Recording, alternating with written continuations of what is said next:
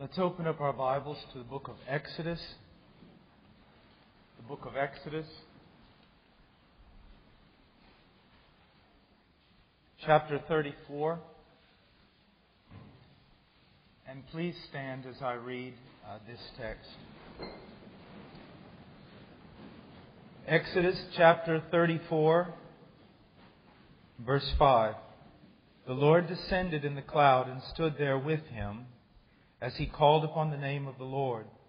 Then the Lord passed by in front of him and proclaimed, The Lord, the Lord God, compassionate and gracious, slow to anger and abounding in loving kindness and truth, who keeps loving kindness for thousands, who forgives iniquity, transgression, and sin, yet will by no means leave the guilty unpunished visiting the iniquity of fathers on the children and on the grandchildren to the third and fourth generations. Moses made haste to bow low toward the earth and worship. Let's pray. Father, I come before you in the name of your Son. Lord, it is my greatest desire that your Son be glorified through the preaching of the gospel. And that, Lord, your people be edified through understanding, through comprehending the gospel. And that through the gospel they would be motivated to greater devotion and greater godliness. And Father, it is my desire that if there's someone here tonight who does not know you, that the gospel would do its work in their heart, that they would be regenerated by the Holy Spirit, that they would come to repent and believe unto salvation. And Lord, to have the greatest assurance of that salvation. Father, everything I desire for this night is absolutely impossible for the flesh. Lord, nothing is impossible for you. And so it is only with that confidence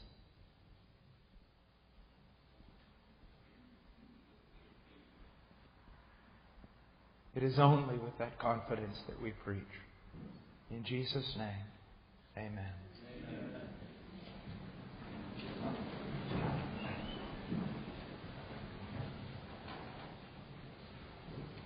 Tonight I want to talk to you about the gospel of Jesus Christ. We live in an age and we live in a place, we live in a culture.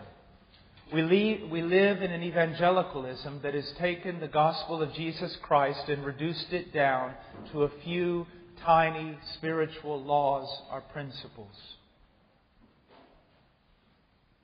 We have taken the glorious gospel of our blessed God and reduced it down to something far less than an intellectual creed. We've made it into a cliche.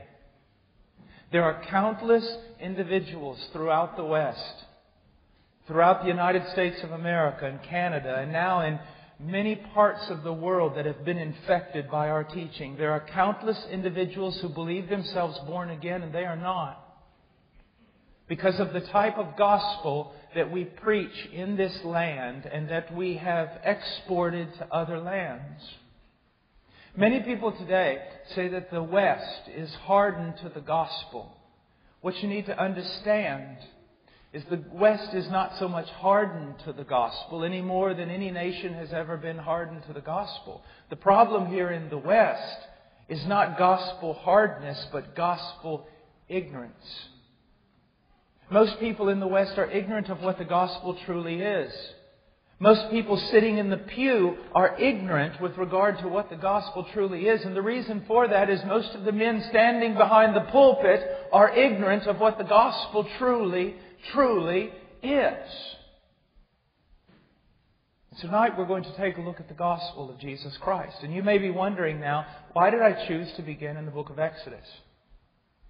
Well, there's a very important reason because there is something found here, and then in another text to which I'm going to take you before I go to our main text, that explains the reason for the gospel. Why do we need the gospel of Jesus Christ?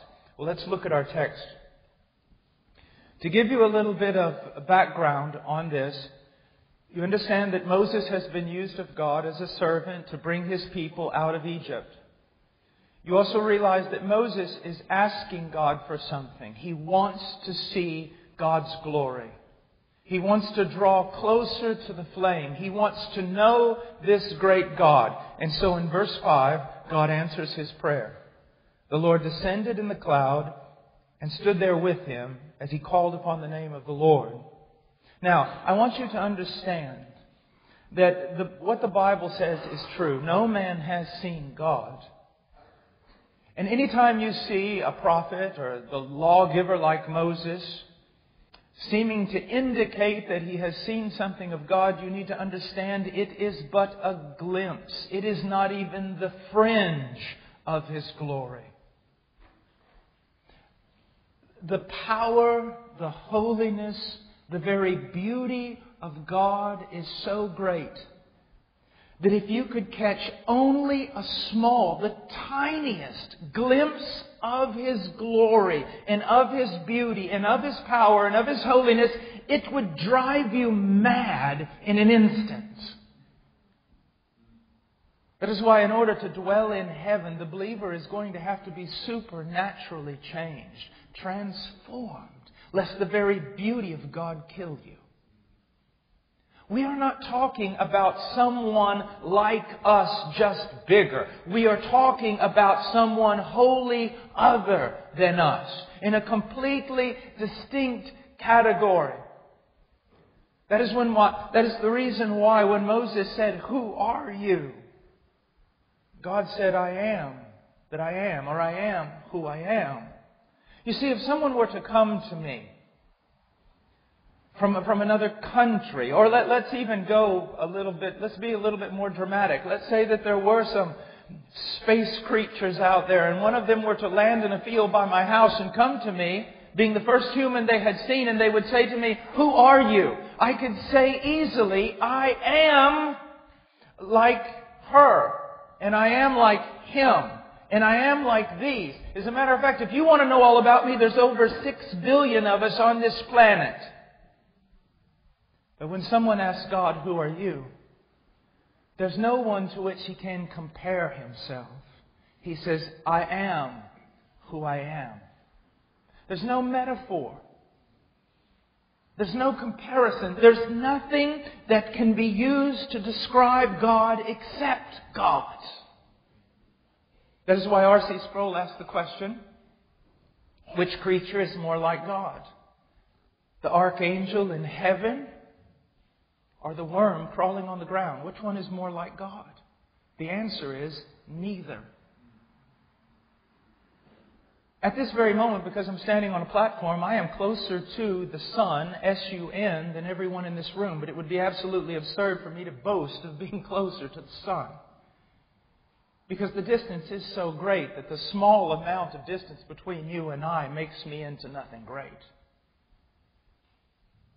You see, you cannot understand the gospel unless you have a right view of God. Because people need to understand this. When I ask them, I ask them, why is the gospel necessary? And they say it's because of who we are. And I say, absolutely not. It's because of who He is. The gospel is necessary because of the character of God. The gospel begins with God. If God was like us, we wouldn't need a gospel. If God was fallen like us, we wouldn't need to be saved from our fallenness.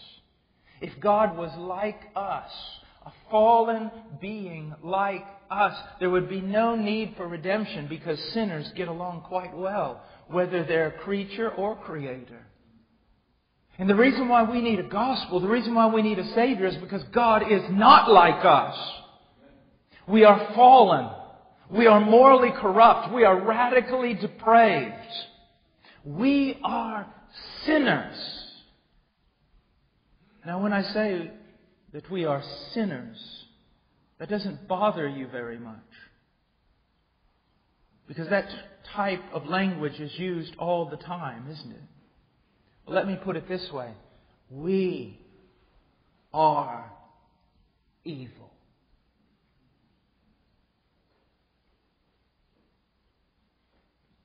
And the problem is, God is not. So he goes on and he says, verse 6, Then the Lord passed by in front of him and proclaimed. Now this is God's self-revelation. This is God's self-proclamation. God is now telling us who he is. And if you ever want to know something about God, I recommend you go to God as the source. Don't take secondary sources on this. Especially in this day and age in the West and in the state of evangelicalism, don't walk around asking a bunch of evangelical pastors what God is like because they're liable to mislead you. You should go directly to the source. The Bible, which is both a New and an Old Testament. Go to the whole thing. Discover who God truly is. And he says this Then the Lord passed by in front of him and proclaimed, The Lord, the Lord God, compassionate and gracious. What a wonderful thing to know slow to anger, and abounding in loving kindness. This is absolutely wonderful. Do you have any idea what it would be like if God were evil? Do you have any idea the terror of our reality if God was like us? We have the political maxim that absolute power corrupts absolutely. And that all of us are subject to the greatest corruption depending on the amount of authority we are given. The Caesars and the tyrants and the dictators have proved that. They kill millions of their own. What would it be like if the creator of the universe was like you? It would be absolutely terrifying. But he's not. He's compassionate and gracious, slow to anger, abounding in loving kindness and truth.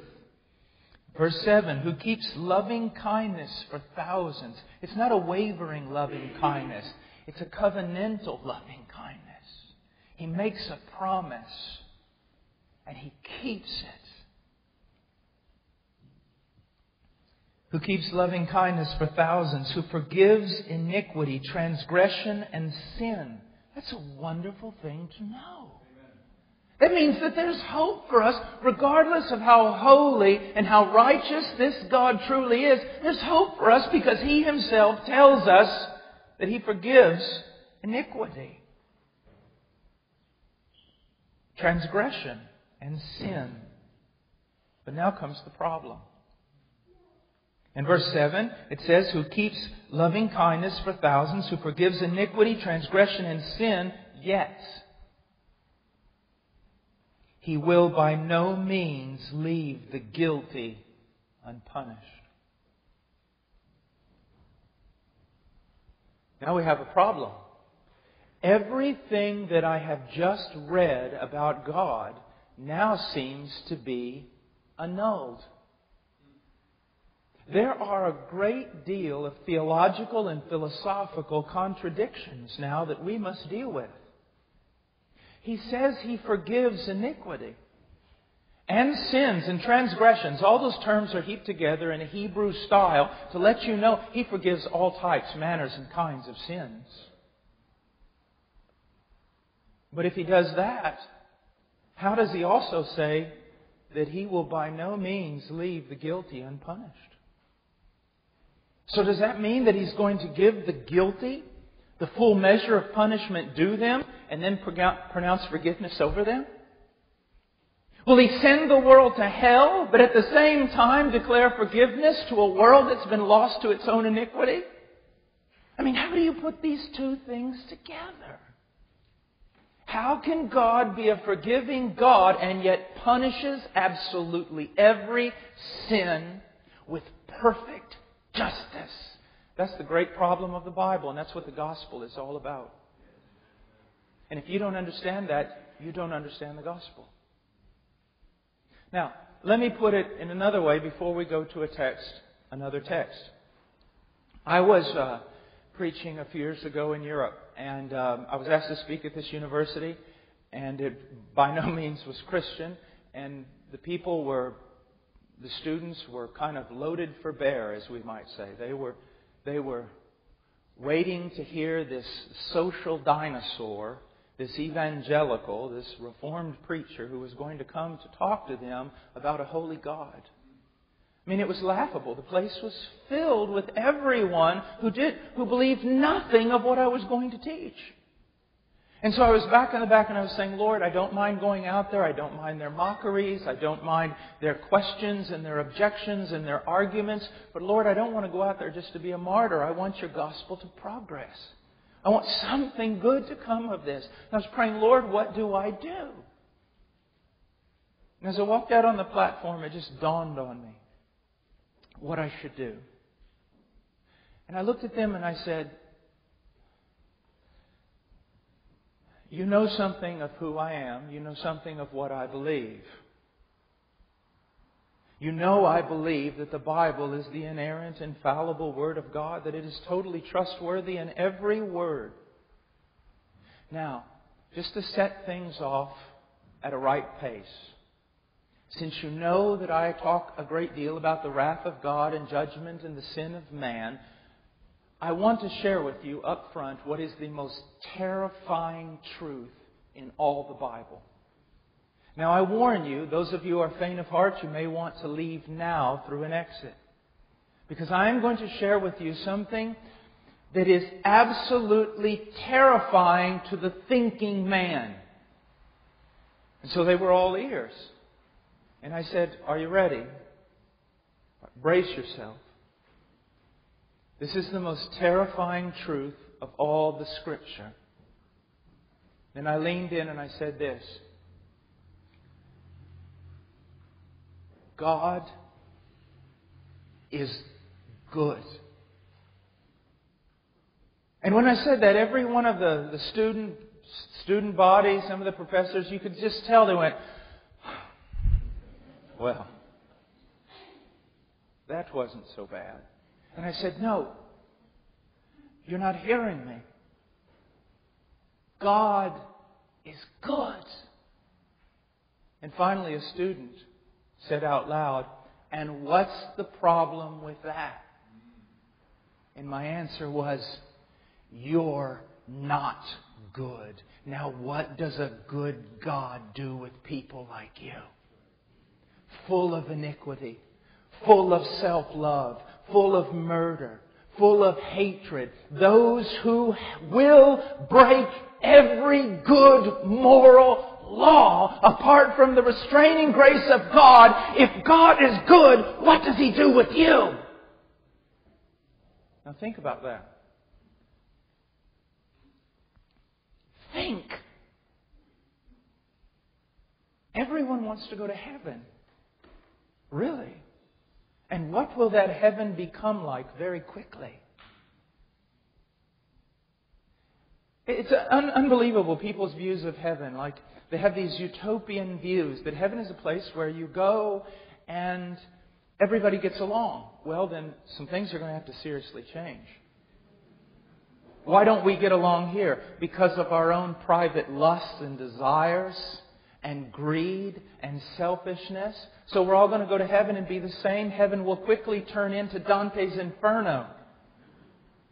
Another thing that's very, very common about our culture today everyone wants to go to heaven, they just don't want God to be there when they get there. I mean, take this for a moment. Really think about what's being said here. God is good. Now, He's not just mostly good. He's not good in a grandpa sort of way. He is the Lord of glory. He's the King of righteousness. Every one of his decrees and judgments are perfect. He, in his pristine holiness and righteousness, cannot tolerate a single moral failure. Because we can see, can't we, what a single moral failure can do to an entire universe?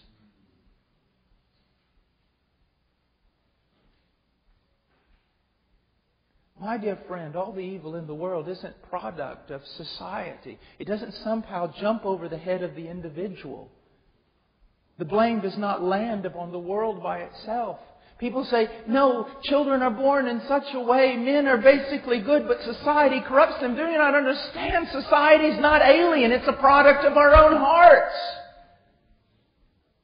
So there's really two problems whenever you deal with the idea of heaven, reconciliation with God. And these two problems are this.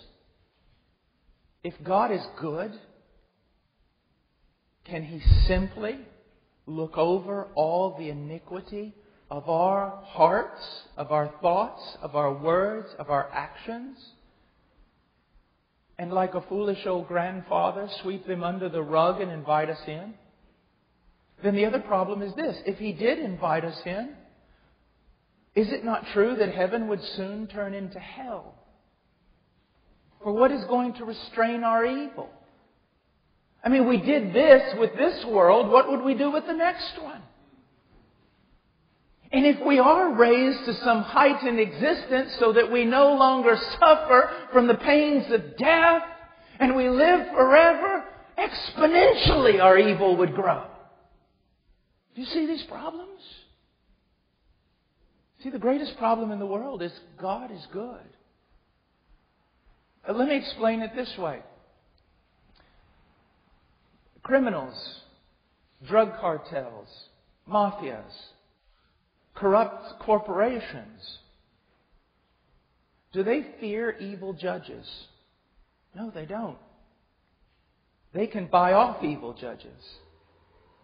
Evil judges are just like they are. They like evil judges. They go to dinner with evil judges.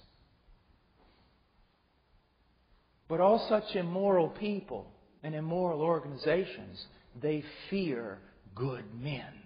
They fear righteous authority, and rightly so, because the right authority will stand against them.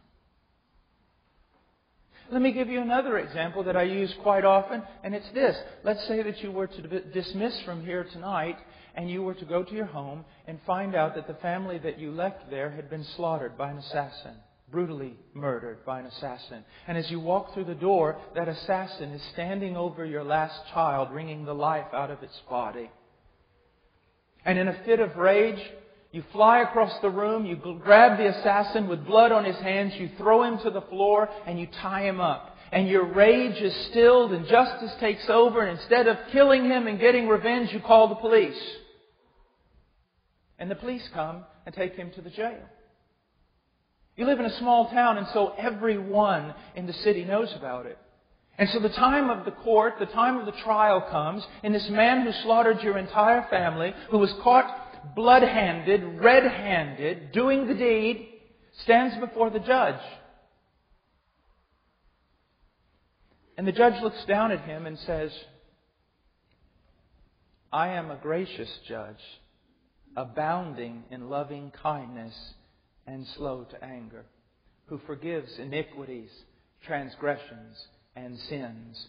Therefore, I pronounce you not guilty. You're free to go. What would be your response? Would you say justice had been done? Would the people in your town applaud the compassion of the judge?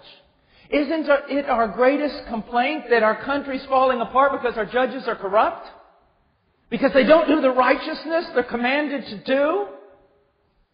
Isn't it true that if someone did that, if there was a judge that that type of judge on the bench that you would be writing all the politicians, even the president. You'd be going to the newspapers. You'd be going to the news media saying there's a judge on the bench far more corrupt than the criminals he sets free. You would be crying out, is it not the job of a judge to do justice? Do you see how hypocritical we are?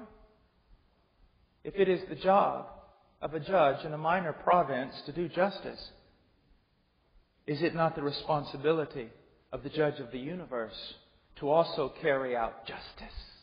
And the problem is, though, my friend, if he carries out justice on you or me, there is no hope. You say, no, wait a minute, Brother Paul, I'm not that bad. In your eyes, that's possibly true. And in the eyes of a society that no longer understands even the most basic politic of moral law, that may be true. But in the eyes of a holy God, it is not true. My dear friend, do you realize right now, if I could take out your heart, if I could take every thought you've ever thought from the moment you first were conscious of being alive, I could take every thought you've ever thought, every deed you've ever done in secret, and somehow I could take it all and put it on a DVD and I could show that film here tonight, you would run out of this room and you would never show your face again to the people here. Because you have thought things, even tonight, even while I was preaching, you have thought things so vile that you could not share them with your closest friend. Now you know that we are just like you. You know if that kind of malady exists in your heart, it also exists in mine and in everyone else's. And yet you're still ashamed that your sin be exposed even before like sinners like us. So what will it be like one day when your life is exposed before a perfectly righteous God? Will you stand on that day? I tell you, you will not. Now, let's go on to another passage. Let's go to Romans.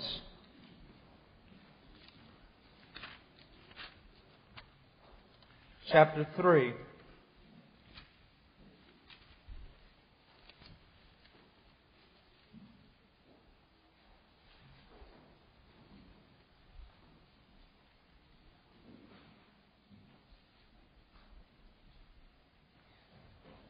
Speaking of Jesus Christ in verse 25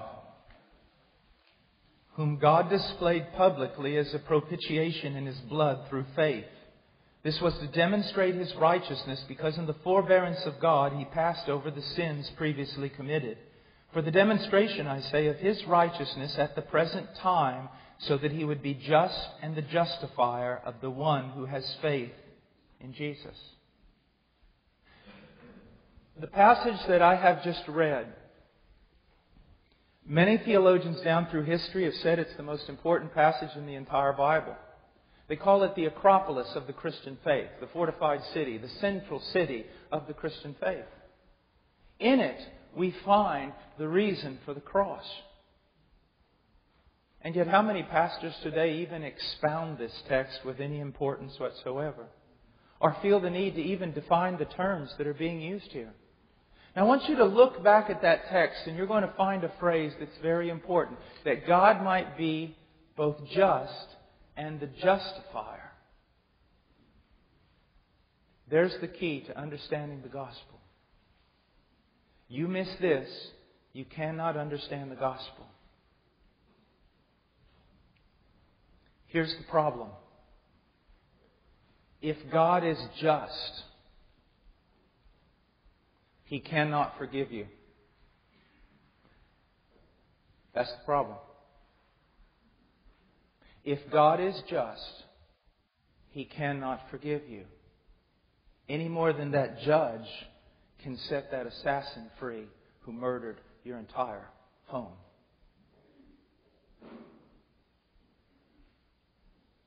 There's a passage in Proverbs, kind of obscure, but it is a great illustration of this. It's in Proverbs 17:15, and this is what it basically says. Anyone, particularly referring to any authority in Israel, any judge, anyone who justifies the wicked is an abomination to God. Now, if you're a Christian, what is the one thing that you most sing about? That you were a sinner and God justified you? Do you see the problem? The Christian faith and Christians boast in the fact that though we were sinners, God justified us. He declared us to be right with Him. But the problem is the Bible says any authority that justifies wicked men is an abomination to God. So how can God justify wicked men without becoming an abomination? How can God be just and yet pardon the wicked? You see the problem? Many of you have never heard this in your life. And yet you've been in church for so many years. What are all these t- teachers teaching nowadays? The things that some of you are saying right now, well, man, I've never heard that before. This was the common speech among Christians 150 years ago.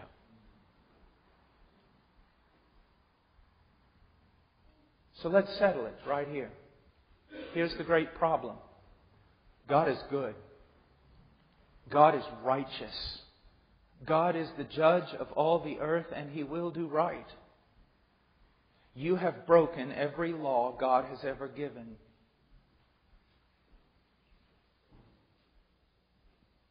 From birth, you went astray. Radically depraved, morally corrupt, evil. Do you have to teach a child to lie? No. No one has ever had to teach a child to lie. Do you have to teach a child to be self centered and selfish? No. From where do wars spring up? The heart of a child that grows into an adult. And un- unless that adult is restrained by the grace of Almighty God, he will make Hitler look like a choir boy. You take a child, put him in a room. I challenge you. Little child, put him in a room. Give him all the toys his heart could desire. Just spread them out around him. And let him play until you can determine the toys that he really loves and the toys that he wants nothing to do with. He wants nothing to do with those toys. Mark those toys that he does not want to play with. You put that toy in his hand, he throws it away. He doesn't want it. Then take another child and bring that child in the same room. And then hand that toy that the other child has thrown away and put that toy in the hands of that other child. And what's going to happen? World War III. But don't you see? That's why the old preachers would use language like this monsters of iniquity.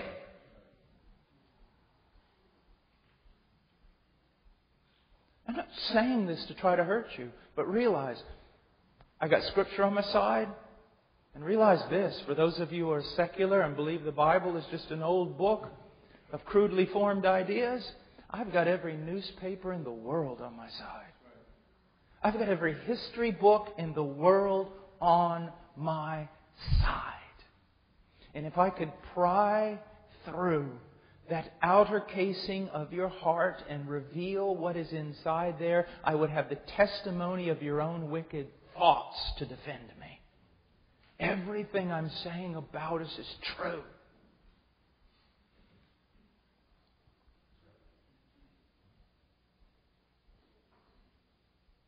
It's true.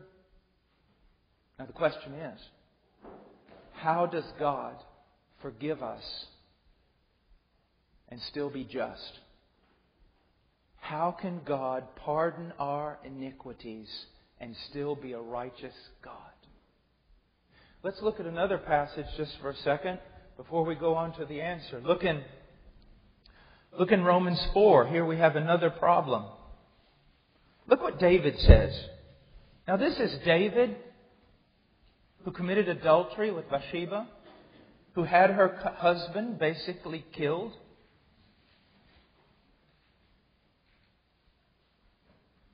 Look at verse 7.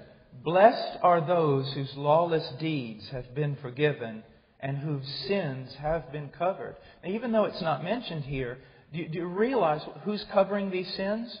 It's God. God is covering these sins. God is forgiving these lawless deeds. Verse 8 Blessed is the man whose sin the Lord will not take into account. To be honest with you, if that text was left by itself, it would say a lot of terrible things about God. What do you think about a judge who covers evil deeds? Pretends they didn't happen, looks the other way. Is that the kind of God you want ruling the universe? But David says that's the kind of God he had.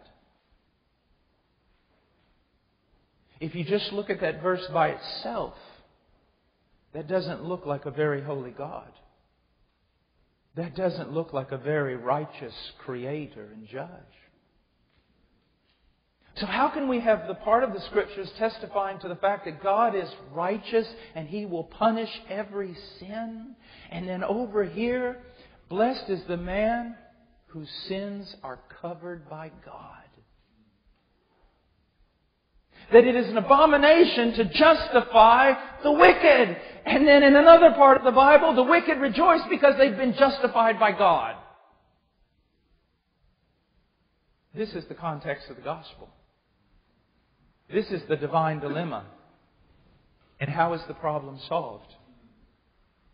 How can we bring these two things together and prove that is, there is unity within the person of God Himself, that there is unity within the Scriptures? I mean, what, what brings this all together? The gospel of Jesus Christ. And there's one word. Let's look at it. It's in Romans 3, verse 25 whom God displayed publicly as a propitiation. Now, what is a propitiation? It's a sacrifice. What does that sacrifice do? It satisfies the demands of justice. And in satisfying the demands of justice, appeases the wrath of God and makes it possible for a righteous God to forgive the iniquities of men. In His righteousness, in His justice, God condemns the world. God sends the law, and the law aggravates the matter, even on purpose. It displays our sin in living color. It shows us that we are condemned. Those of you who would seek to save yourselves by keeping the law, all of creation testifies against you. That's an impossibility. You have broken the law at every point. The law just makes you that much more guilty. And in His righteousness, God condemns the world. And in His grace, He designs a plan of salvation. And what is that plan? God becomes a man. God becomes a man. The Son of God incarnate. And he walks on this earth as a man. He is fully God. He is fully man. The two natures are not confused or mixed. One is not diminished for the sake of the other. He is truly God and he is truly man, but he walks on this earth as a man. And then as a man, as your brother, he lives an absolutely perfect life. He's the only one of whom God could say, This is my beloved Son in whom I am well pleased. Behold, he doeth all things well.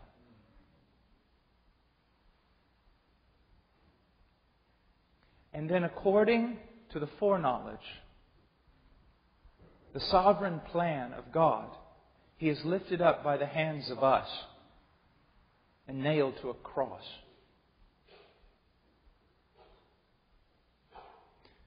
Now, herein lies the problem.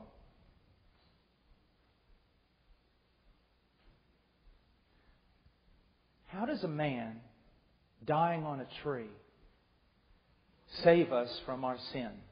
How does a man dying on a tree pay for our sin? Let me put it in a, in a more uh, crude vernacular. How does the fact that the Romans beat up Jesus pay for our sins? Because, see, here, here is the problem. When I hear most preachers preaching about the cross of Calvary, what they talk about is the, the cat of nine tails with which Christ was beaten. They tell me about the crown of thorns. They talk about the mockeries of men, how he was beaten, how he was slapped, how he was a, a bloody picture of a man going to a tree. They tell me how he was cast down upon the beam. They tell me how he was nailed to a tree and lifted up. They tell you that every Easter. But the question still remains okay, the Romans crucified Jesus. How does that pay for our sins? Listen to me. If you are saved here this evening, it is not merely because Jesus was beaten up by the Romans. It's not merely because they nailed him to a tree. If you are saved here this evening, It is because when Christ was on that tree, your sins were imputed to him. They were placed upon him. The guilt for every wicked thing you've done was heaped upon his head. And then Almighty God crushed his only begotten Son under the full force of His holy hatred against your evil. Have you never read Isaiah 53? And it pleased the Lord Yahweh there in Hebrew. It pleased the Lord to crush him, to grind him to powder. You see, what you need to understand is this. By breaking the law of God, you made yourself an enemy. I sometimes ask people, they say, Brother Paul, I've been saved. I say, saved from what? They say, saved from sin. I say, sin wasn't after you. If you've been saved, do you know what you've been saved from? You've been saved from God. As a matter of fact, I like to put it this way you have been saved from God, for God, and by God. You see, He is righteous. You and I, because of our law breaking, are evil. Every one of us. You go down into some shady part of the city and find the prostitute and find the drug addict and find the worst of the worst. And pick them up. Look them square in the face. They're just a mirror of what you are. Apart from the grace of God, they are a mirror of you. You think Hitler is an anomaly? The only reason why you do not surpass Hitler in your evil is because God has restrained your evil by His common grace. Hitler's not an anomaly. He's one of us. And God, in His justice and in His righteous anger, burned against the whole lot of us. You say, well, I just don't believe. You know, God is love, and, and I just don't think God gets angry, and I don't think. You don't think. What you think really doesn't matter. What the Bible says is what matters. And let me show you again your hypocrisy. Let's say you pick up a newspaper tomorrow and you find out that a man kidnapped a little girl 15 years ago and has held her in his basement for 15 years and done nothing but torture her every day of her life. You tell me you can pick up that paper and read it and be neutral about it? If you're neutral about it, you're immoral. You're just as immoral as the man who did that. Can you hear about the Holocaust and say, well, you know, it's not that big a deal? Can you hear about slavery in America and not burn? Well, then you're immoral. You and I even reserve the right of righteous indignation when we hear about evil. We, even though we're fallen, even though we're sinful, when we hear about crimes that even go beyond our imagination, do we not burn within us anger?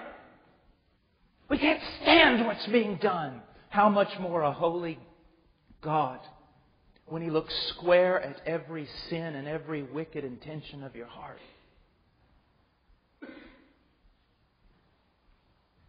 But on the cross of Calvary,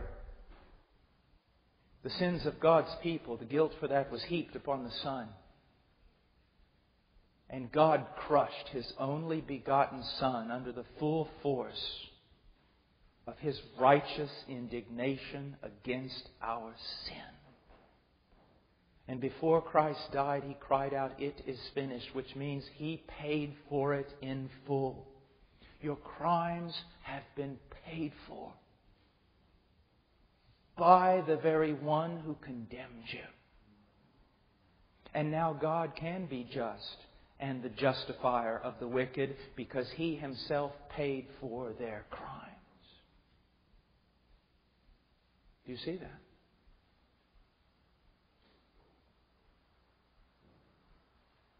Now let's look at this with a bit more depth.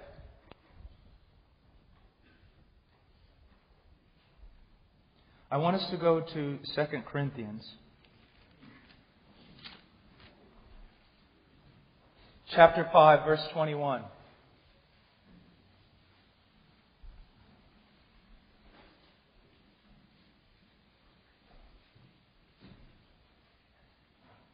He made him who knew no sin to be sin on our behalf, so that we might become the righteousness of God in him. 2 Corinthians 5:21 He that is God made him that is the Christ who knew no sin to be sin on our behalf so that we might become the righteousness of God in him. Now let's look at this for a moment. He knew no sin. He wasn't acquainted with sin. He was perfect. Although he came into this world and took upon himself the flesh, the body, like our body. So many people think that when Jesus came to the earth, he came in this super, almost Superman type of body. No, he didn't. He came in the likeness of sinful flesh. He himself was absolutely incorruptible and pure, but he took upon himself a body that suffered all the effects of our sin. That's why he was tired and thirsty and weak. But the, the thing that really captures me here is that he knew no sin. Not just that he didn't do any sin, he knew no sin. He wasn't acquainted with it.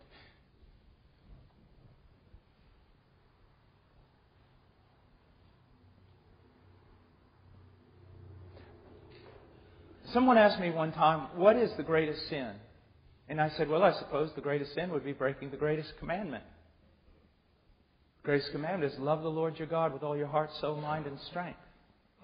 That's why the idea of sinless perfection for the believer is absolutely preposterous. Because if you say that you have loved the Lord your God with all your heart, soul, mind, and strength, you've also blasphemed. Here's what I want you to see. There has never been one moment in your life, not one fraction of one moment in your life or mine, that we have loved the Lord our God with all our heart, soul, mind, and strength. There's never been one fraction of a moment that you and I have loved God as God ought to be loved. You understand that? Now think about this. There was never one moment in the life of Jesus of Nazareth that he did not love the Lord his God with all his heart, soul, mind, and strength. We're talking about something so far beyond just keeping a few commandments, my friend. We are talking about something we cannot even fathom. Not all of humanity, not one fraction of one moment of our existence have we loved God as God ought to be loved, and yet Christ did it every moment and every day of his life. You talk about something spectacular. And then imagine this eternal Son of God, thrice holy, holy, holy, holy. He comes down into our world. Now, for you, that might not be such a bad thing, but for Him, let me give you an idea of what it means. In the book of Ephesians, chapter 2, we are told that we are dead in our trespasses and sins. Now, it's very, very, it's very difficult to interpret this passage. It, it really is. Because you've got the problem of what does it mean in our trespasses and sins. Is it dative of sphere? What, what are we talking about in the Greek? I believe that it is. We were dead in the sphere of our trespasses and sins. It uses the words trespasses, plural, and sins, plural, to say we were dead in the sphere of all kinds of sin. Every kind of sin. Now, to give you a picture of what that looks like, and this is not going to be pretty, but to give you a picture of what that looks like, it would be this. Imagine a putrid, rotting corpse floating at the bottom of a cesspool of excrement that was created by the very things coming forth out of that body.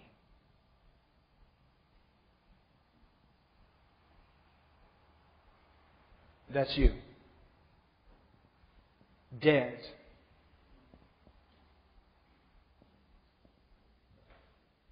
A rotting corpse at the bottom of a cesspool that is created by your own body fluid and your own excrement, and you lay there.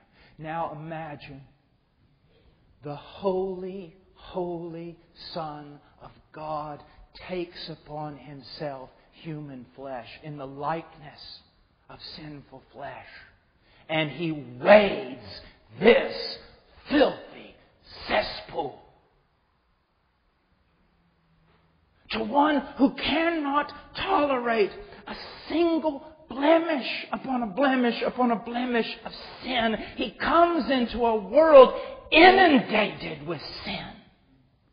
And he walks among us.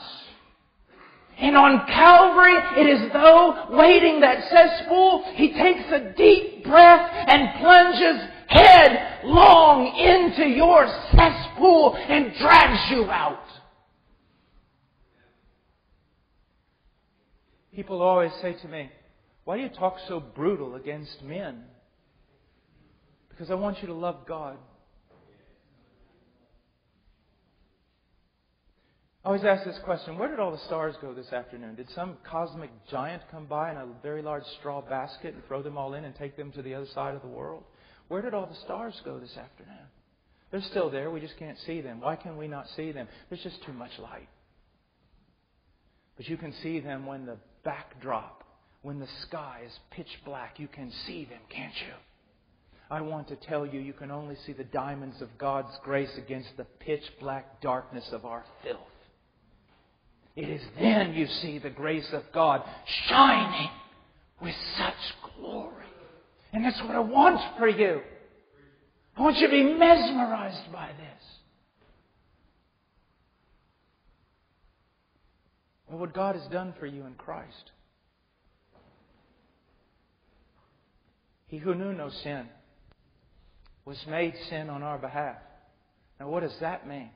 I mean, some of the greatest commentators in the world have been very cautious with regard to the meaning of this. Calvin said, Wow, let us be careful not to say too much. Let us be careful not to say too little. This is, what does it mean? I mean, you've read this text a million times, haven't you? But what does it actually mean that the Son of God was made sin, became sin? What does that mean?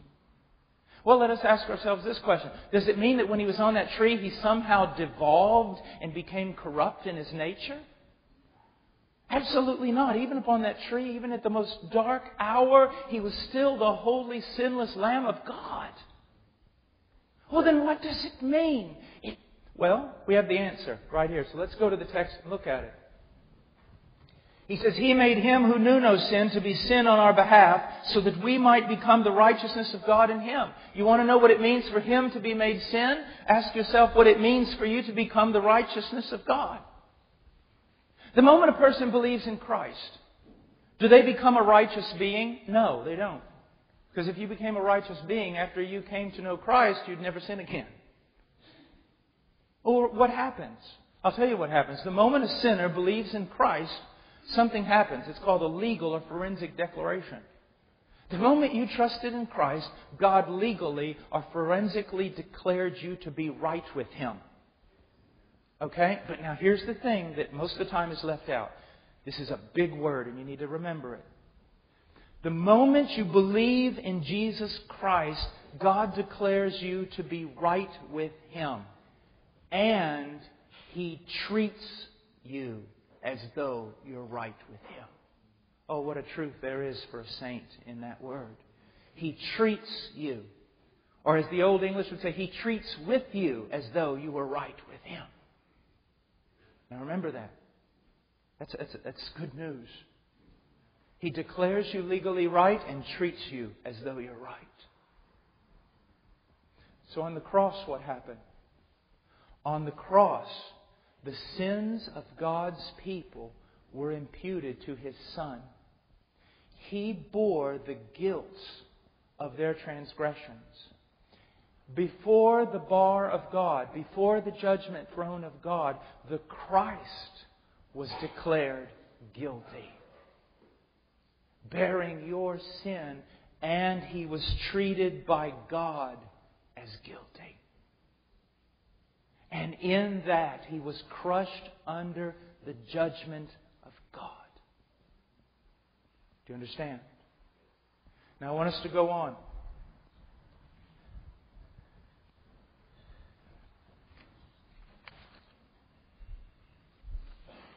Look in the book of Galatians.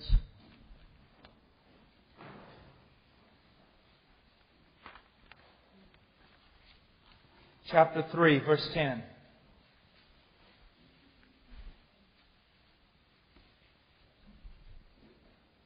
For as many as are of the works of the law are under a curse. For it is written, Cursed is everyone who does not abide by all the things written in the book of the law to perform them.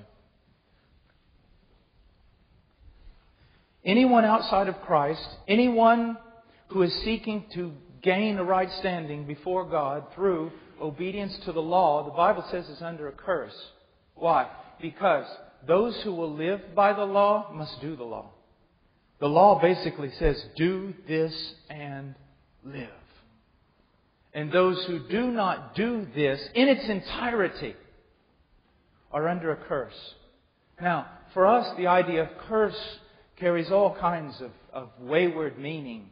You know, it can mean, well, you know, some witch put a spell on you, or, or someone hexed you so that you would not prosper in this life.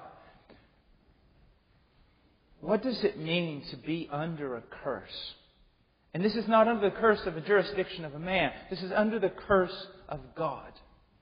Under the curse of God's law. What does it mean? The best way I can describe it is this. To be under the curse of God's law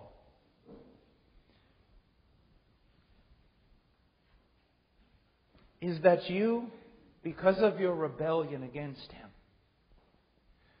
you are so vile and so loathsome, not only before a holy God, but for any inhabitant of heaven that is holy any aspect of creation that is not subject to the fall, you have become so loathsome in your sin that the last thing you will hear when you take your first step into hell is all of creation standing to its feet and applauding God because God has rid the earth of you.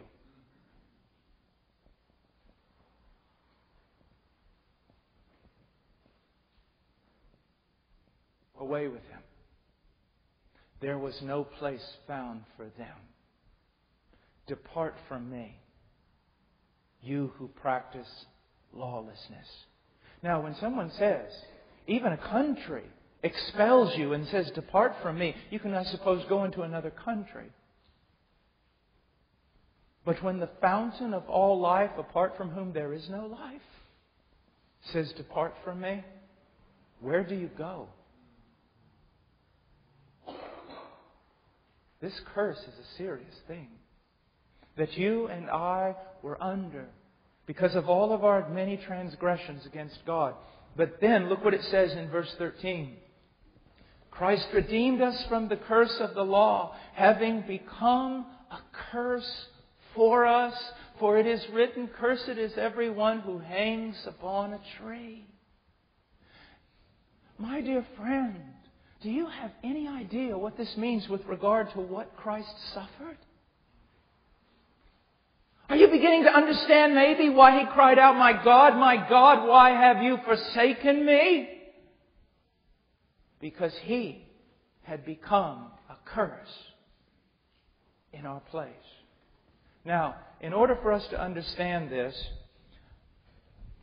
I want to explain some things to you from the Old Testament.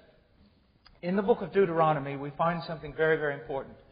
We find that the, the people of God are divided into two groups, and there are two mountains. There is Mount Gerizim and there is Mount Ebal. Part of the nation of Israel is placed upon Mount Gerizim, and they are to pronounce all the covenant blessings that are to fall upon the head of the covenant keeper. They are to pronounce with a loud voice all the blessings that are to fall upon the obedient man.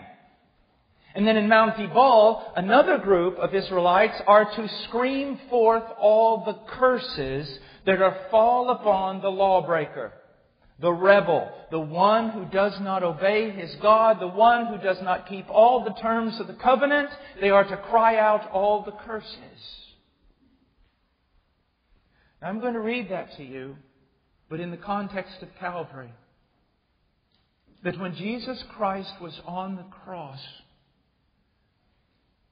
the sins of his people were imputed to him.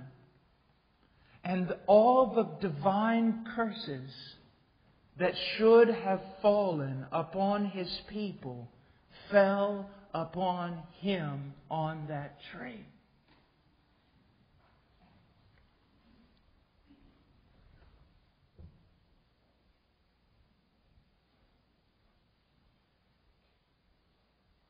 Getting this one thought from R.C. Sproul.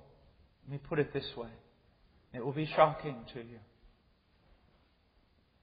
When Jesus is hanging on the cross, he cries out, My God, my God, why have you forsaken me? And God from heaven answers back, The Lord, the Lord your God, damns you. The Lord send upon you curses, confusion, and rebuke until you are destroyed and until you perish quickly. The Lord smites you with madness and with blindness and with bewilderment of heart, and you will grope at noon as the blind man gropes in darkness with none to save you. The Lord delights over you to make you perish and destroy you, and you will be torn from the land. Cursed shall you be in the city, and cursed shall you be in the field.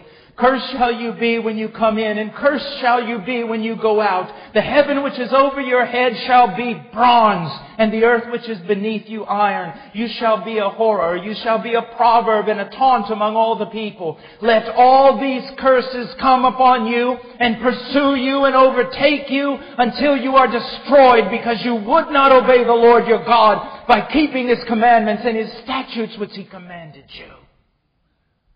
This is what you should hear. This should be your greeting on the day of judgment. This is the only voice you should hear from God, but that voice fell upon His Son. I have written here, as Christ bore our sins upon Calvary, he was cursed as a man who makes an idol and sets it up in secret. He was cursed as one who dishonors his father or mother, who moves his neighbor's boundary mark or misleads a blind person on the road. He was cursed as one who distorts the justice due an alien, orphan, and widow. He was cursed as one who is guilty of every manner of immorality and perversion, who wounds his neighbor in secret or accepts a bribe to strike down the innocent. He was cursed as one who does not confirm all the words of the law by doing them.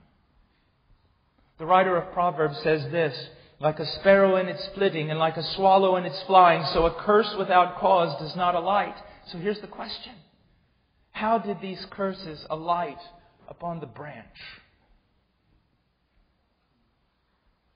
It is because when he was on that tree, he bore your sin and the judgment of Almighty God fell upon him. David cried out this. I'm going to read it to you. How blessed is he whose transgressions is forgiven, whose sin is covered. How blessed is the man to whom the Lord does not impute iniquity, and whose spirit there is no deceit. Yet on the cross, sin was imputed to Christ. The sin imputed to Christ was exposed before God and the hosts of heaven. Christ was placarded before, before men and made a spectacle to angels and devils alike. The transgressions he bore were not forgiven him, and the sins he carried were not covered. If a man is counted blessed because, the, because iniquity is not imputed to him, then Christ was cursed beyond measure because the iniquity of us all was imputed to him. There's an interesting statement in the renewal of the covenant in Moab. Now, before I go to it, I, I want to tell you something. I believe that every word, page, paragraph, chapter, verse of the Bible has something to do with Jesus. If not, then the Old Testament is nothing more than a collection of moral stories. I believe it all has to do with Him. Yes, I understand that sometimes the Puritans were probably too extravagant in their interpretations and too precise looking for Christ. But I can appreciate a heart like that. Samson picking up the gates of the city and carrying them up on top of the hill, throwing them down.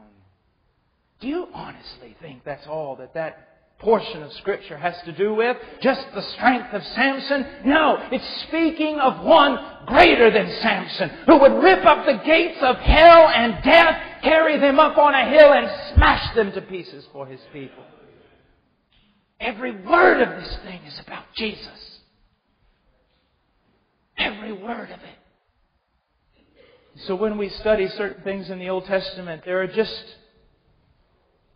faint winds that blow through them that turn our attention towards Christ. In the renewal of the covenant in Moab, God talks about the judgment that would fall upon the head of the covenant breaker. And I want you to listen to the language. And here within this, the law itself pointing beyond itself someone greater. To someone greater. He said, Moses testified of me. Every word of Moses. It all points to Christ. But it says this about the one who breaks God's law.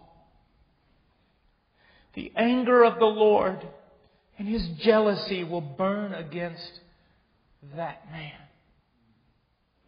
Pilate said, Behold the man.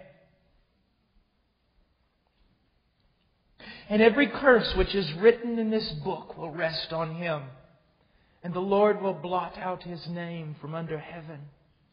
Then the Lord will single him out for adversity from all the tribes of Israel, according to all the curses of the covenant which are written in the book of the law.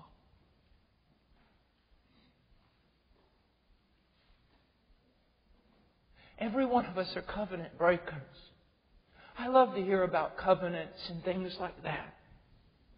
But every time I hear the word, it's also a reminder that I have been nothing all my life, even to this day, but a covenant breaker. That's all I've ever been. The word covenant would be a curse to me. But there was one, an elder brother, born 2,000 years ago. Yahweh has only ever had one servant, and it was his son. Jehovah has always and only had one witness. It is his son. There has only, only been one covenant keeper, and his name is Jesus. And yet, on that tree, he was treated as the covenant breaker so that I could be treated as though I were a covenant keeper. Oh, hail the power of Jesus' name. Let angels prostrate fall. Bring forth the royal diadem and crown him Lord of all. Crown him with many crowns. From where does zeal come forth? What creek or stream or spring can you find it in? This one. It comes forth from Him. All you need to move you to godliness, all you need to move you to service, it's found in Him. Look no further than Him.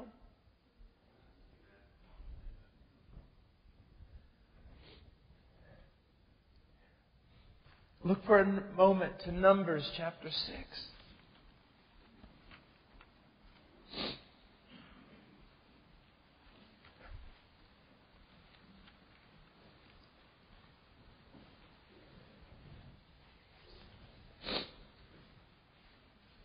In verse 24, we have the priestly or Aaronic blessing.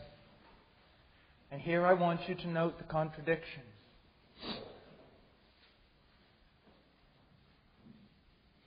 Verse 24 The Lord bless you and keep you. The Lord make his face shine on you and be gracious to you. The Lord lift up his countenance on you and give you peace. And here's the problem How can a holy God bless a sinful, wicked, idolatrous people like this? How can a perfectly righteous God pronounce such a blessing upon the head of a people that has broken his covenant?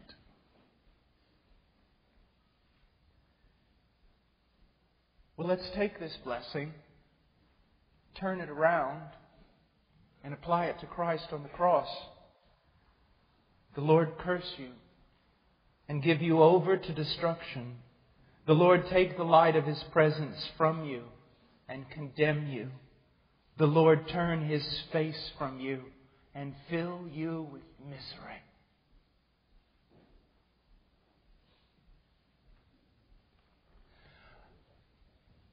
I will hear people, I will hear people say, I say, How are you doing, brother? Oh, I'm blessed.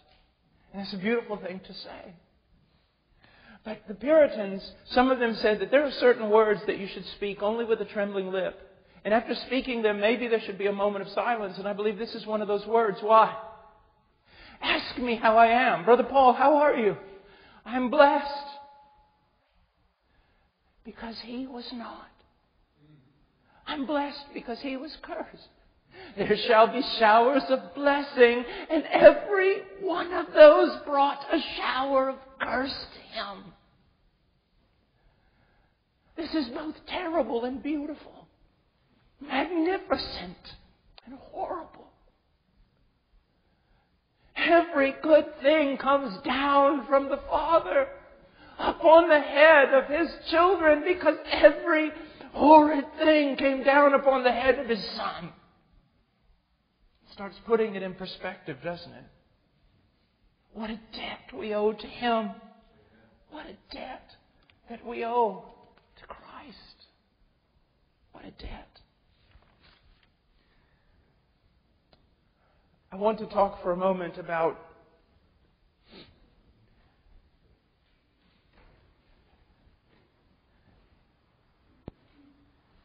Jesus is on the cross and he cries out, My God, my God, why have you forsaken me? The liberal theologian says at this point that Jesus recognizes he's not the Messiah. Some say at this point he goes mad. All of that is blasphemy. Blasphemy rot. Poison coming out of unregenerate souls. Men that could say things like that do not fear God.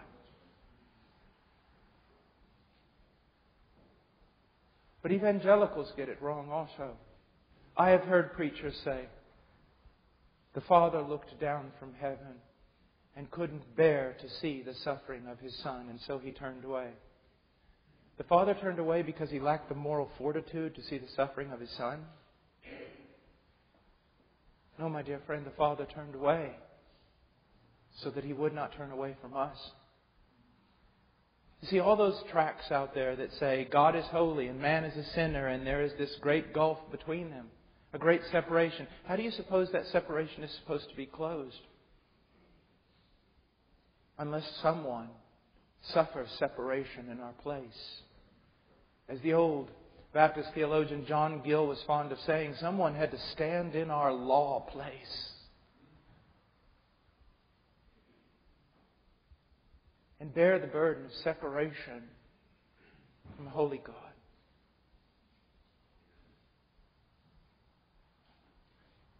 We go to the Garden of Gethsemane. And Jesus is there.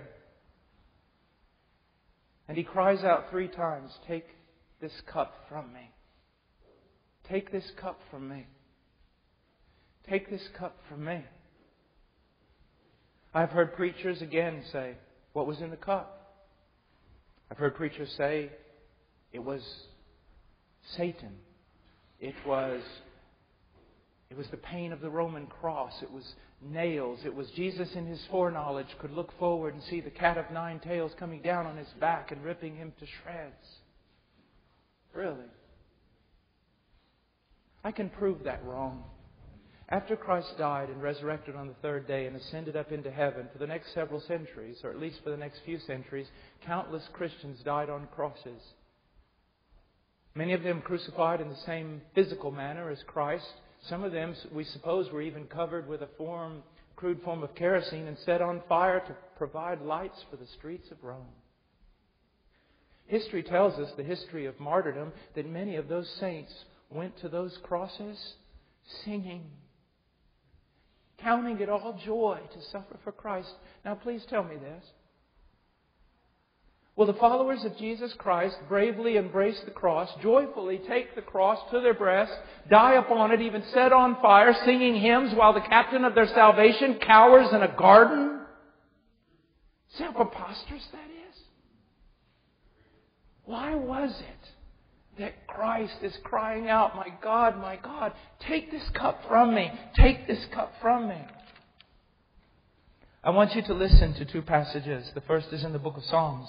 For a cup is in the hand of the Lord, and the wine foams. It is well mixed, and he pours out its dregs. Surely all the wicked of the earth must drain and drink down its dregs.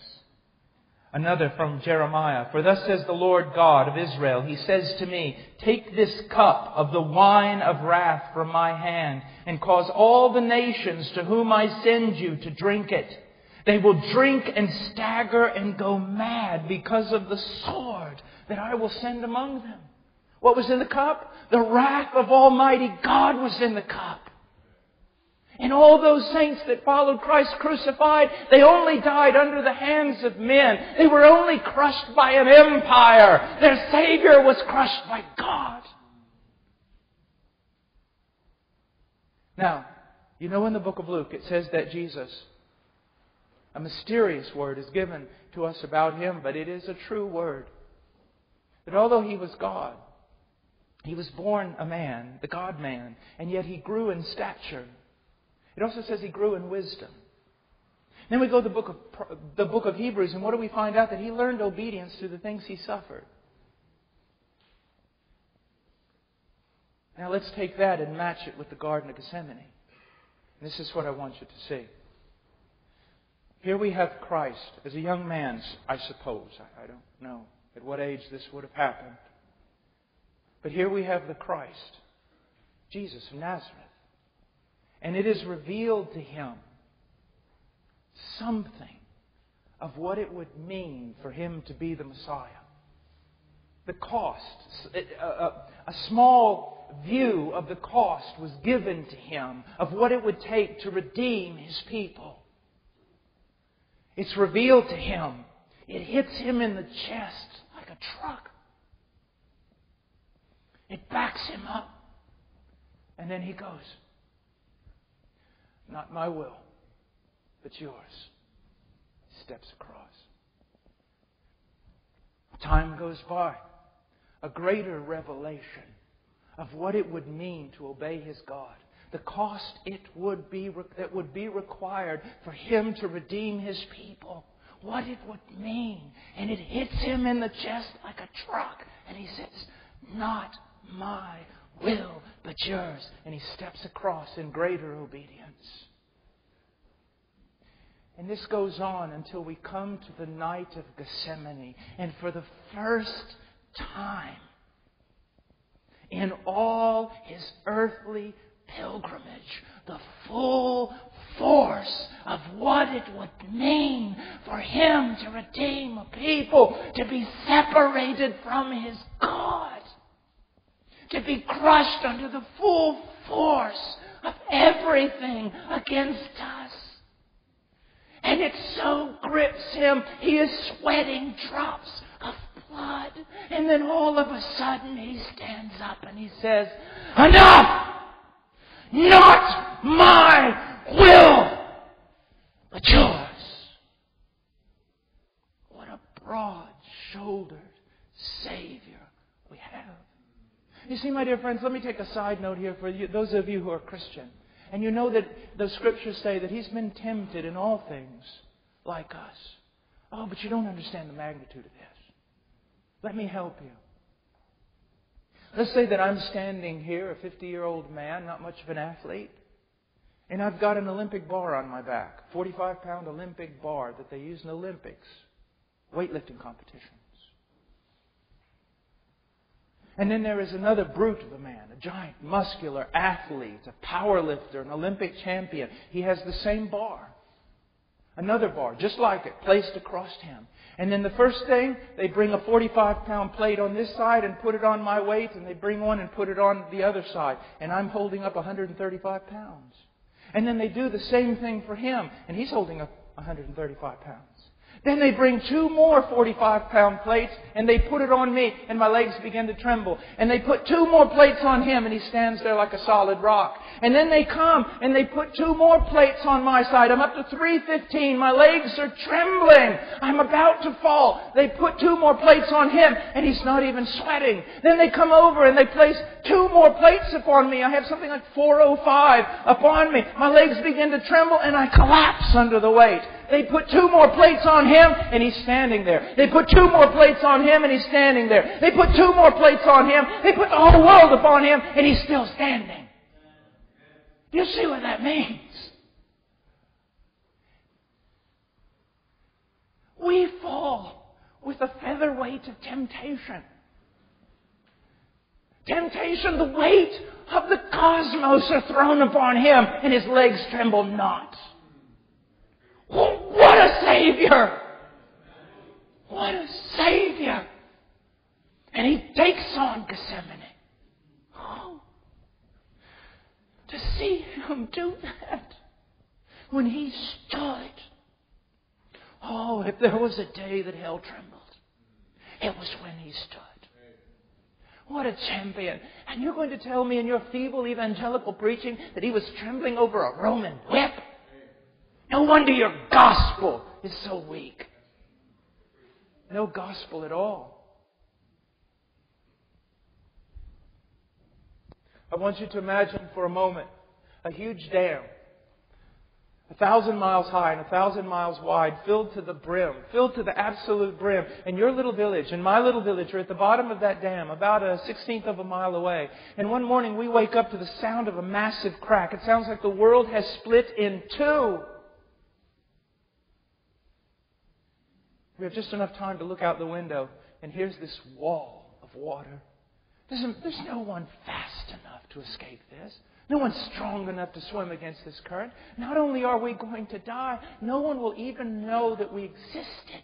Our entire village will be gone. And right before the crushing blow comes upon us, the ground itself opens up and swallows the entire deluge so that not one drop of water touches our pant leg. And that's what Christ did on that tree for you. The wrath of Almighty God aimed at you.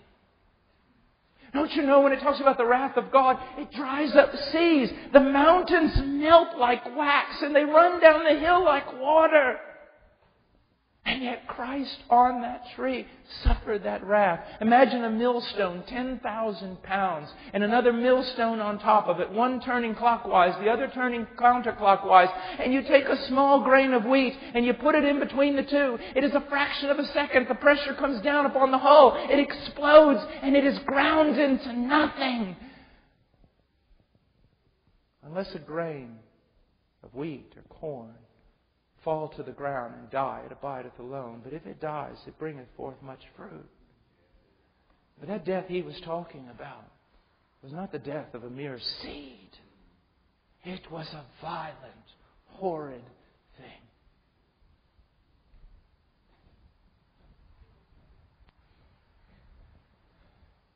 I want to turn to one of my most beloved Puritans right now and share with you something I call it The Father's Bargain. It was written by John Flavel. And it is a dialogue between the Father and the Son before the very foundation of the world, before the cross. Certainly before the cross.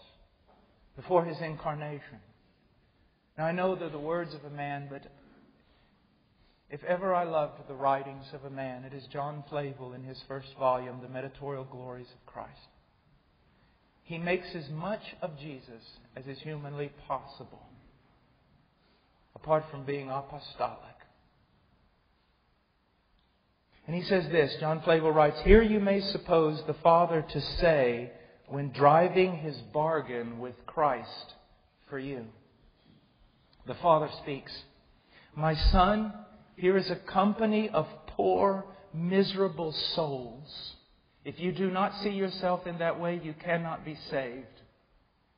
Here is a company of poor, miserable souls that have utterly undone themselves. And now they lie open to my justice. Justice demands satisfaction for them or will satisfy itself in the eternal ruin of them. That's gospel preaching. Son, what shall be done for these souls? Now Christ replies, O my Father, such is my love to and pity for them, that rather than they shall perish eternally, I will be responsible for them as their guarantee. Now listen to this part. Bring in all thy bills, that I may see what they owe thee. I sometimes meet a young man that is so in love that he wants to be married, and then he marries and comes back to my office six weeks later and says, What have I done? If only I knew the cost of this. Christ wasn't that way in going after his bride. He said, Bring in all their bills. Let me see what they owe thee. And then listen to this. This is one of my favorite things ever written by a man outside of Scripture. Bring in all thy bills that I may see what they owe thee. Now listen. Lord, bring them all in that there may be no after reckonings with them. Do you understand what he's saying? Bring in every bill because I'm going to pay every one so that afterwards there will be nothing left to reckon with them. You will no longer have to deal with them about their crimes. It's over once and for all. At my hand thou shalt require it. I will rather choose to suffer the wrath due them than they should suffer it upon me, my father, upon me be all their debt. And then the father replies, But my son, if thou undertake for them, thou must reckon to pay the last mite. Expect no abatements. Says, Son, if you take their place, do not expect that I will lessen their punishment. And this is what Flavel writes. The Father looks to the Son and says, Son, if I spare them, I will not spare you. If I spare them, I will not spare you. And the son replies, Content, Father, let it be so. Charge it all upon me. I am able to discharge it. Now there's a claim to deity. Christ throws back his shoulders and he says, lay it all upon me. I'm able to discharge it. No angel in heaven, no, no, no myriad, no army of angels in heaven can say that. But Christ, the Son of God, says, lay it upon me. I am able to discharge it, discharge it. And though it prove a kind of undoing to me, though it impoverish all my riches, empty all my treasures, yet I am content to undertake it. Now we're going to finish with this one of the most epic narratives in all of the Old Testament. The patriarch Abraham is commanded to carry his son Isaac to Mount Moriah and there to offer him as a sacrifice. Now I want you to listen to the language. Remember what I said. It all points to Christ. Listen to this language. Now listen to this. God speaks to Abraham. Take now your son your only Son, whom you love. And go to the land of Moriah and offer him there as a burnt offering on one of the mountains which I will tell you.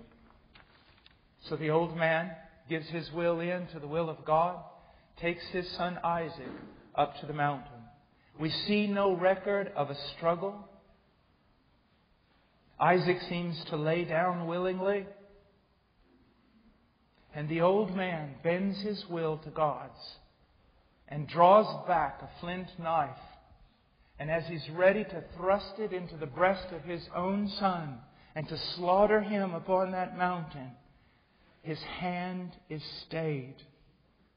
And Abraham hears a voice Abraham, Abraham, do not stretch out your son against the lad, and do nothing to him, for now I know that you fear God, since you have not withheld your son your only Son from me. Now, at the sound of the voice and the staying of his hand, Abraham turns around and finds a ram in the thicket caught by its horns. And everyone who reads the, na- the narrative breathes a sigh of relief. What a beautiful ending to that story. No, it wasn't the ending, it was the intermission. Century after century rolls by. The curtain was closed. It remains closed. And the years go on. And then 2,000 years ago, the play resumes. The intermission is over. The curtains are drawn back. And there, at center stage, is God's Son, God's only Son, whom He loves, bearing the sins of Abraham and Isaac and Jacob Moses David the prophets, all of the Old Testament saints, the Old Testament church. Our sins, the sins of those who will come after us. And God lays His hand upon the brow of His Son, His only Son, whom He loves, and with the other hand takes the knife from Abraham. And on that tree called Calvary, God slaughters his only begotten Son.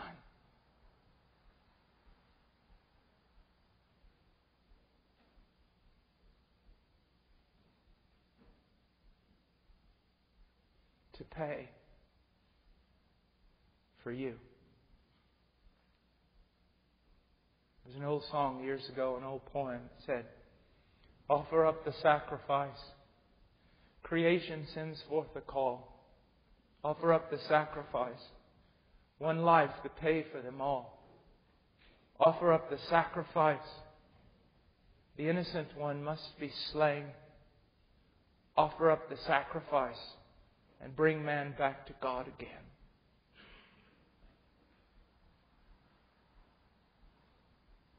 If ever I loved thee, my Jesus, tis now. And they put him in a tomb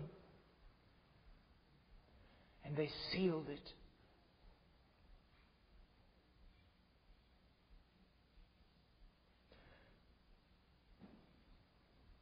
But up from the grave he arose with a mighty triumph for his foes. He arose a victor from the dark domain.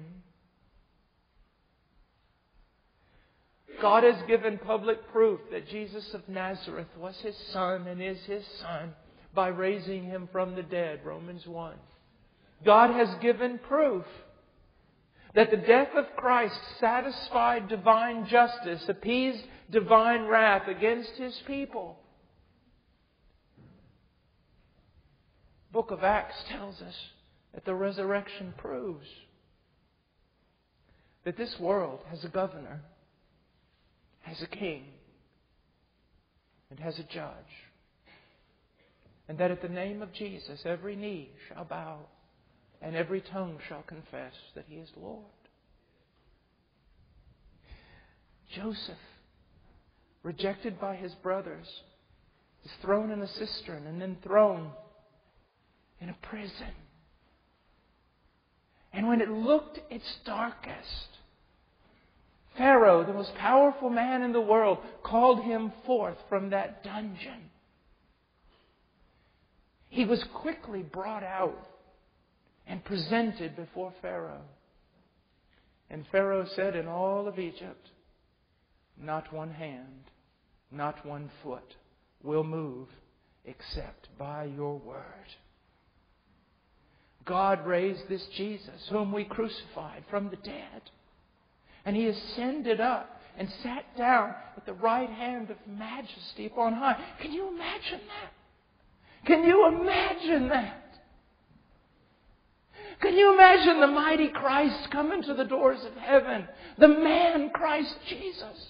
As Spurgeon said, as he approached the doors where no man had ever walked, the angels peer over the wall. And he cries out as the psalmist says, Lift up your heads, O ancient gates, that the King of glory may come in. And the angels respond back with shocked voices, Who is this King of glory? And I would say that they said, Who is this man who yells at these doors? Who dare lay his hand to the latch of these gates? And the mighty Christ yells back, It is I, the King of glory. Open up, ye ancient gates. And he opens up, stand, standing before the Father, walks up to the throne and takes his seat. He doesn't even have to ask for permission. It's rightfully his. And the Father looks over at the Son and says, It is finished. And the Son looks at the Father, it is finished indeed. And the Father, according to the book of Daniel, Christ is presented, the mighty Messiah is presented before the Ancient of Days, and basically the same thing is told to him. Except at your word, Son. Not one finger will be lifted or put down in all the universe except at your word. This is our Savior. And He's coming again in glory and power to reign and to save and to judge. Is it well with you? Do you know Him? And you know what I fear for you right now? If your heart is only afraid of hell, I fear for you.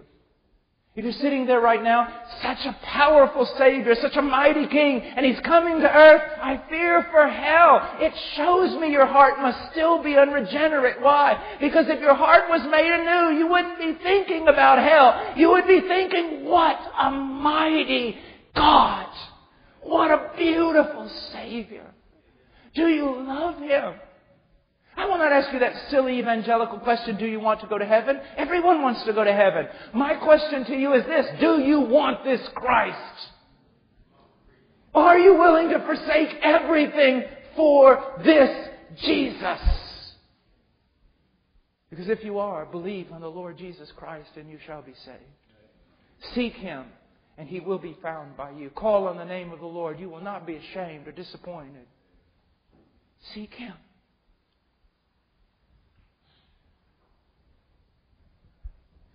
Preaching is a horrible thing. And this is why. You can study. You can labor in the night watch. You can pour out your heart to explain to people who Jesus is. And all the while, you know you don't even comprehend anything of it. I remember one time walking out in a field and saying, God, just one time, when I pass over, give me a box. Give me a box to stand on And in a glorified body. Let me preach him as he ought to be preached. And the word in my heart was, Paul, even then you will not be able to preach him as he ought to be preached. Do you know what heaven is? It is simply this an eternity after eternity tracking down the glories of God in the face of Christ. Within a few millennium, I'm sure that streets of gold and gates of pearl will become rather mundane, rather boring. I mean, there's so, only so many things you can do with a gate. Why will heaven not become a hell of boredom? Because only one reason you're tracking down the infinite, unending glories of God in the man Christ Jesus. What a day! What a day! What a day. Let's pray. Father, we come before you, Lord.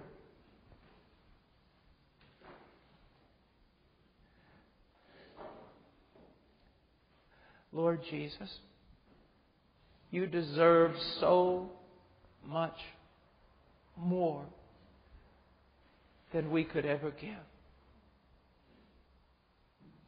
If it was said of Solomon, the half was not told. Lord, we have not even reached the foothills of this Everest called the gospel.